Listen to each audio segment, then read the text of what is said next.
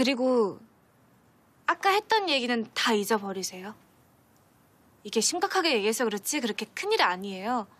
뭐 어디가 엄청 아프다거나 사는데 지장 있는 거 아니니까. 맞아요.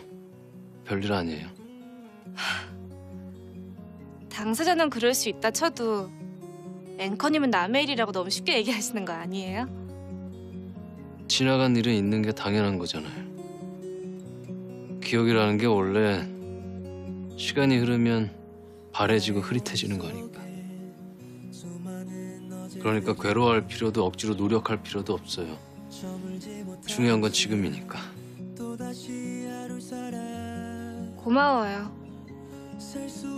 여러 가지로.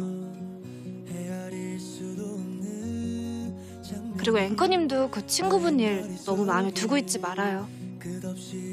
정확한 사연은 잘 모르지만 앵커님 잘못 아니에요.